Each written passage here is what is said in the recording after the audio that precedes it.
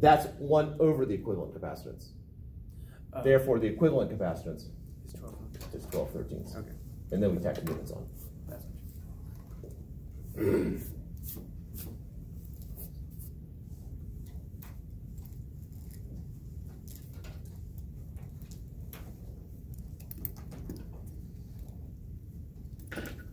Questions to hear? So why is the, um, equivalent, the C sub EQ, why is that twelve over thirteen? Uh, because when we add the, when we take the reciprocal of each of these and add them together, that's the reciprocal of the equivalent. So at the end, we have to flip it back. From a unit point of view, this technically is one over two farads, one over three farads, one over four farads. This is 13, one over farads. And we need farads in the end, so it would have to, from a unit point of view, it would have to flip.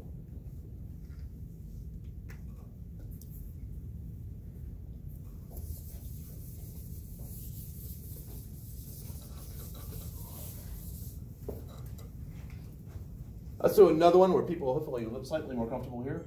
So, uh,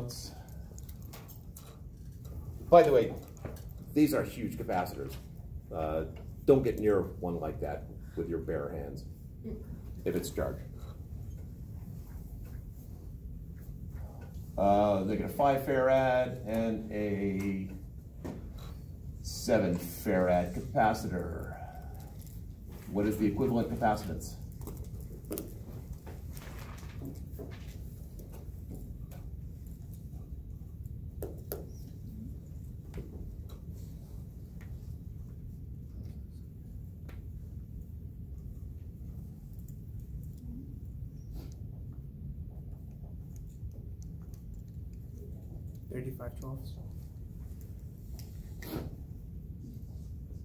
Farads.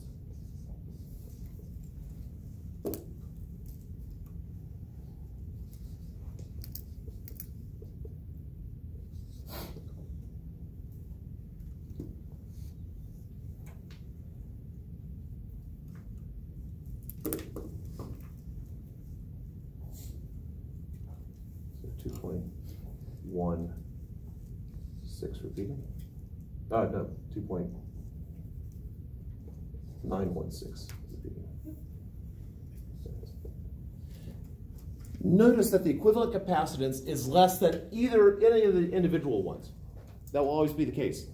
In parallel, the total should be bigger than any of the individual ones. In series, it should be less than any of the individual ones.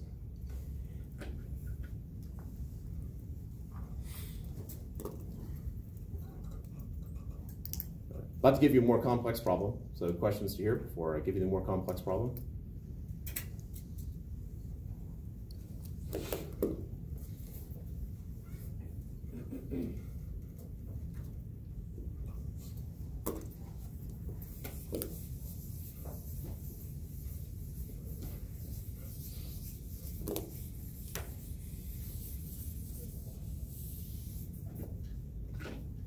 All right, so now starting point here. I'll throw in.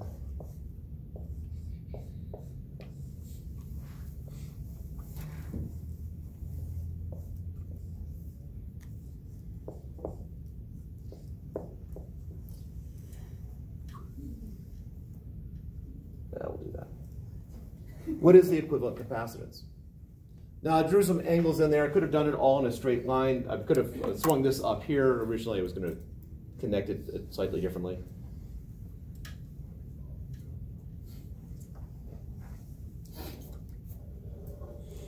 Uh, I guess we need numbers here. So let's make this one farad, two farads, three farads, four farads, five farads, and six farads. So now we don't have, it's not just straight up, I'm using one equation or I'm using the other equation. We need to use both. First, let's identify junctions. Now, some of you will look at this and you immediately know how to do it, and that's great. Uh, based upon past experience, there are some students who will look at this and they will be flummoxed. So I'm going to identify junctions. This is places where the electrons, as they flow, could choose one path or another. So I have a junction here, I have a junction here, Uh, I have a junction here, I have a junction here.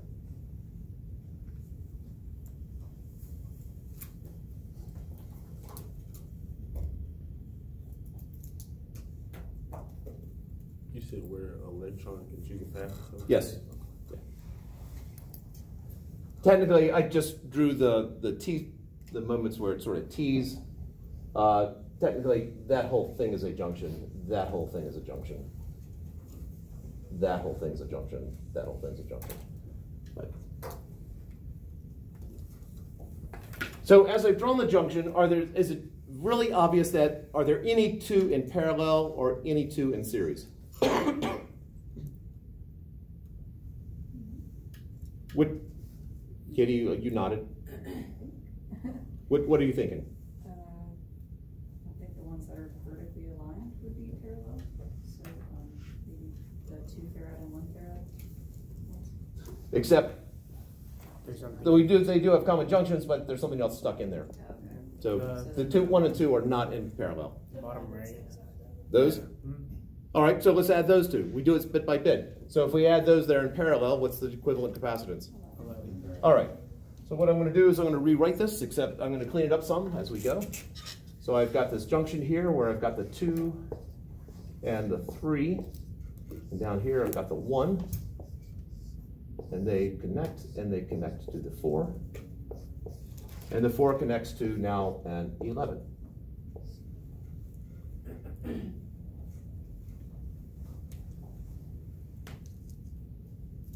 And just so that, since there's a whole lot of parallel lines there, let's put out a serif to my ones.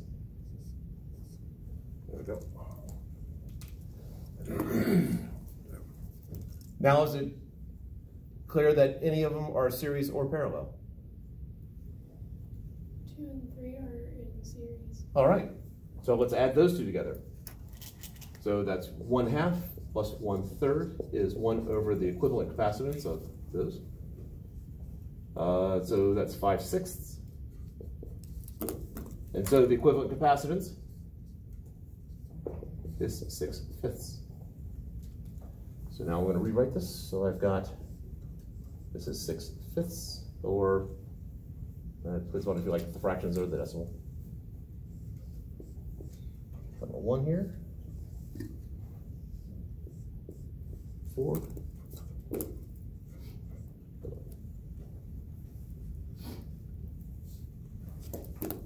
Now what?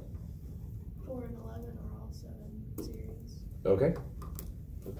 Get that out here.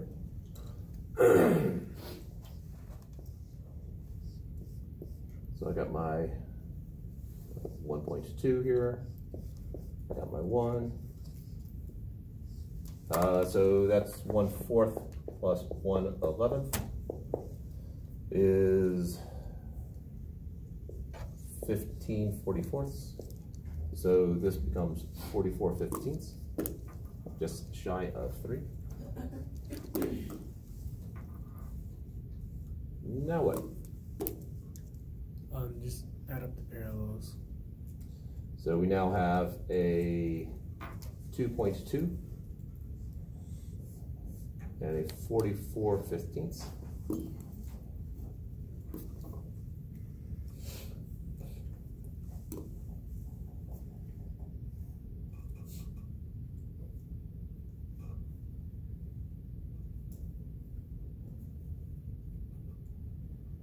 Now what? No, you have two in series. Adding those up, so one over two point two is five elevenths plus fifteen forty-fourths, which is thirty-five forty-fourths. So my equivalent capacitance is forty-four thirty-fifths. Now I'm doing it in fraction form just because I'm doing it on the board and I don't have a calculator sitting in front of me. So don't feel like you have to use that. Uh, I will point out that there's a lab that there's good chance. Uh, I do some semesters, I don't do other semesters, depending upon timing. It's majorly complex, but it turns out that if you round off, if you do the decimal and you round off to say two decimal places, at some point the lab just completely falls apart. Uh, you need to take it out far more decimal places uh, on that particular lab.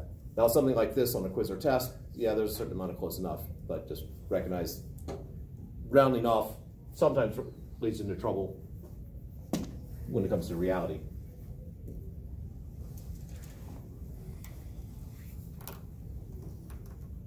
So the claim is that if I could replace this entire mess right here with one capacitor that is 44 35 farads, and it would do the exact same thing.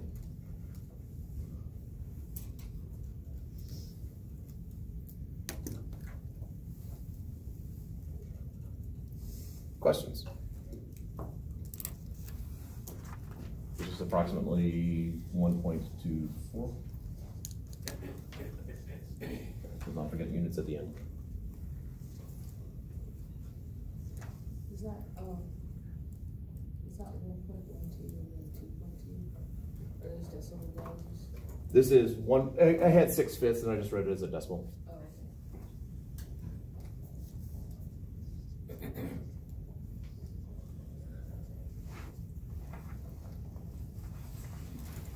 Other questions?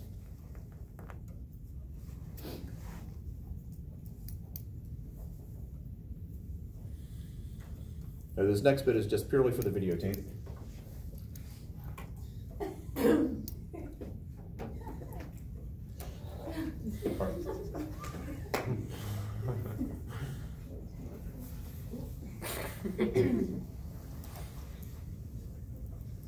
Now, hopefully you can see the excitement of a problem like this and the possibilities. Because now I could say, hey, you got five capacitors, a two farad, a three farad, a four farad, five farad, and a, uh, let's go with a 1.7 farad. Come up with a structure where the total capacitance is, and then I give some limit. Let's say the total capacitance, you have to use all five of them. Uh, you can't have one just sort of stuck out in nowhere. And uh, come up with an equivalent capacitance of 2.7 plus or minus 0.1 farads.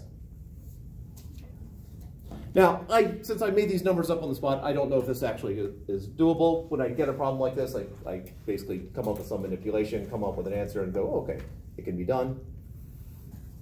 If I'm feeling saucy, I do it again just to make sure I didn't make a careless error. And if I really want to do it right, I, the next day I do it again because presumably if I do the same problem twice in a row, I'll be doing the exact same thing.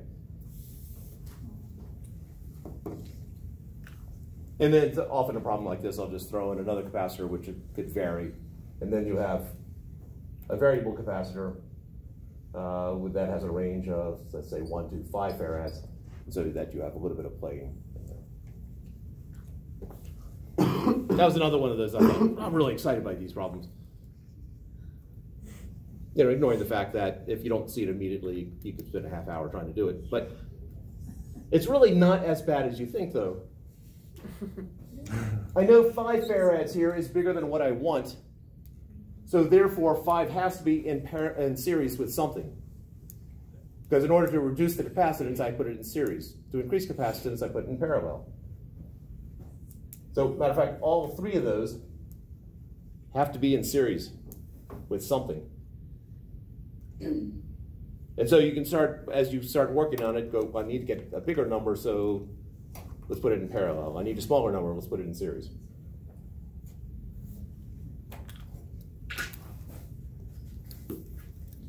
All right, so questions to here?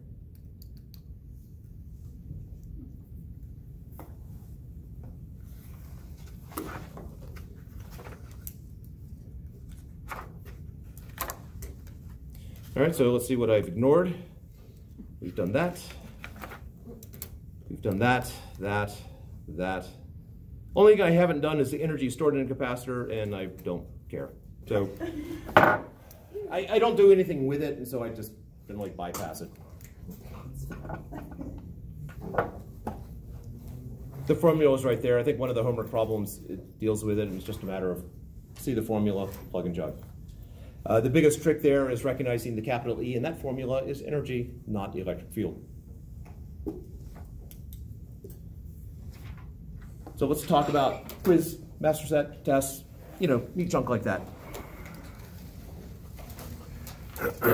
Today is the third. Oh, I don't think I've posted the lab yet.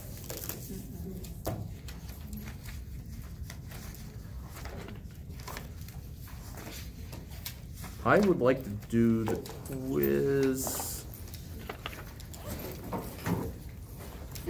How far you want to stretch it out.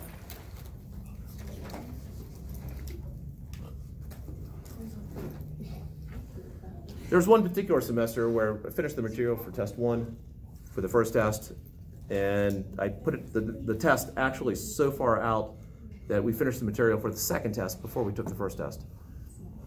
Uh, That was the two fifty-two class, so.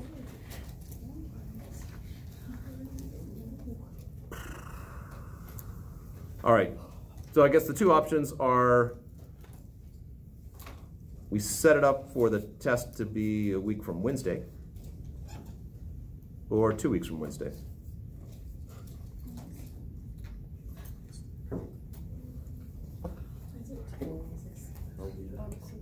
Pardon? Two, two weeks there. Jabez, you were suggesting It doesn't matter. I was gonna say a week. from you're flex, one week, but flexible. Wednesday. Uh, Michaela seemed a little bit uh, more adamant for the two weeks. But if we go, the further we go, The longer we go, more the more- confusing it'll be with the other stuff. It all blends in. Remember, we have only one physics equation, the rest is just derived from that. You just start with Coulomb's law and just go. Derive the entire course. Here's Coulomb's, the test. There we go. The test. Here's Coulomb's law. Derive everything we've done.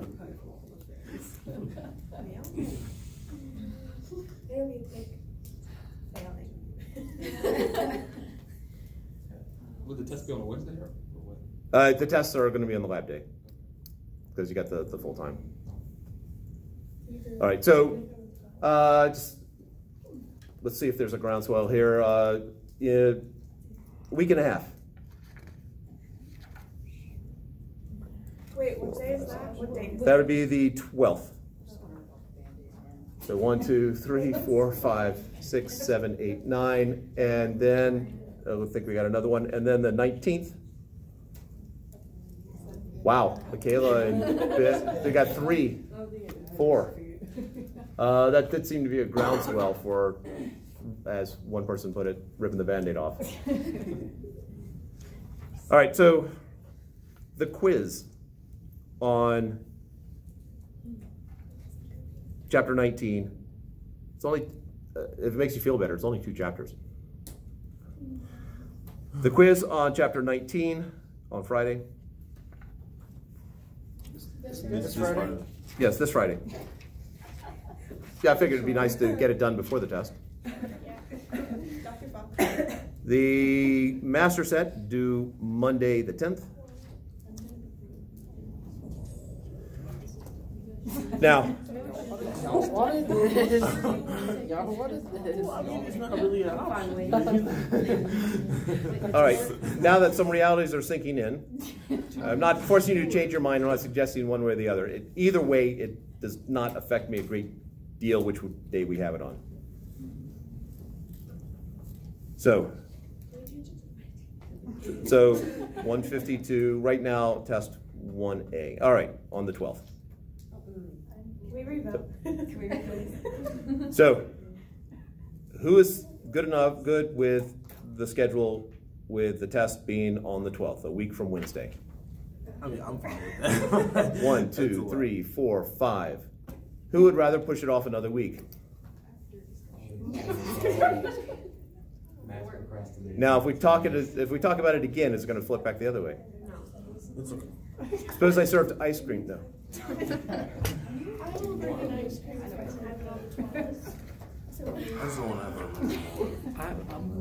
a. All right, so with the uh, reconsideration, the quiz on chapter 19 will make a week from today.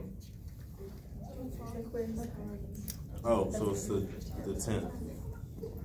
Yeah, the quiz is on the 10th, Monday the 10th. Master set due Friday the 14th.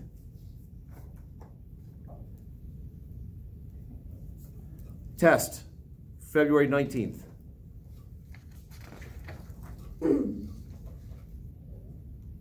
So for Valentine's Day, you could study.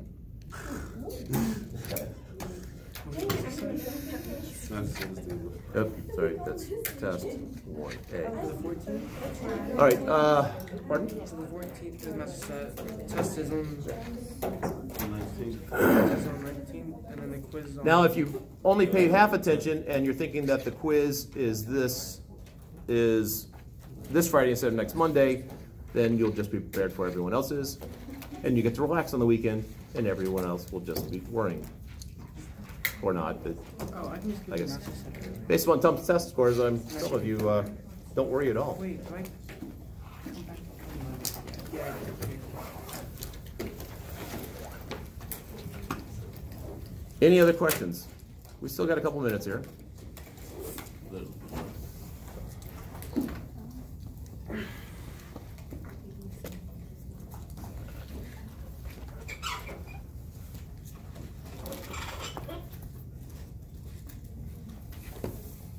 I want you to imagine that there's a fire in the room. Where now? Uh, let's just put it back there. What is going to determine how quickly all of you get out of the room? How big the fire is.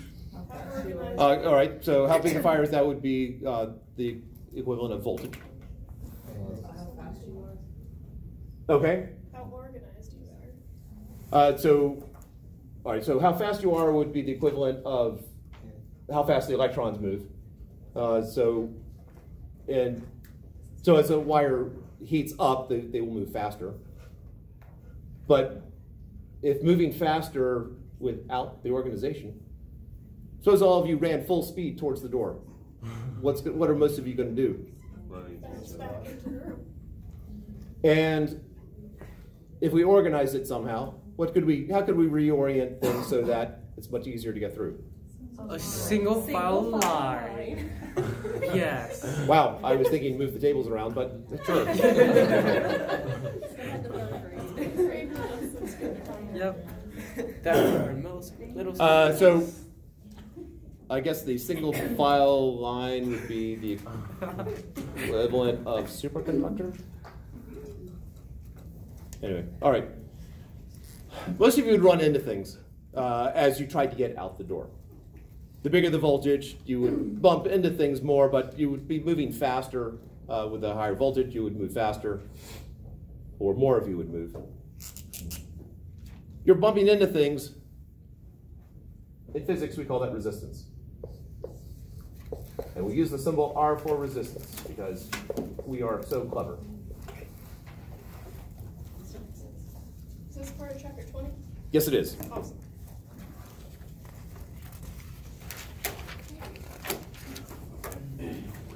So, an electron, if I have some voltage here, so this would be the high side and the low side, the electron basically would move and bounce and moves and bounce and move.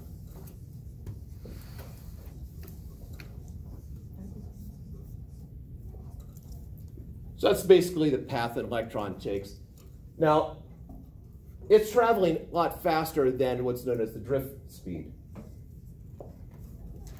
The drift speed is if you have if you have you know like if you're doing uh, speed check by aircraft. You know you have two marks right here, and you're seeing how long it takes to get from one side to the other. That's that will determine drift speed, but the actual speed is much faster than that, but it keeps running into things. And that is going to have to be the cliffhanger.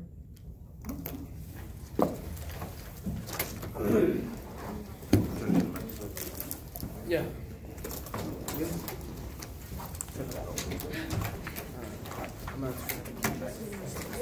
Match earlier. Since it's approaching that, it is that time of year. If you have not registered to vote, please, and you are going to be 18 by the time of the general election, please register to vote. Matter of fact, if you are, my daughter ran into this where her birthday was in October. Uh, she could vote in some of the primary. Uh, because she was going to be 18 by the time the general election was, she could vote in part of the primary. So if you're 18 by November, whatever it is this year, uh, and you're can not registered, please make sure you are registered. What type? I said you can vote. You can, If you're eighteen before the day, you can vote. it seemed like they gave her a special ballot, so I was thinking there was only, she couldn't vote on everything. Yeah. Okay, You're limited, if you're gonna need an age, you can still vote. So whatever. yeah. So, register. I was school last week. Yeah, ah, all right, before we start, if you could hit the, uh,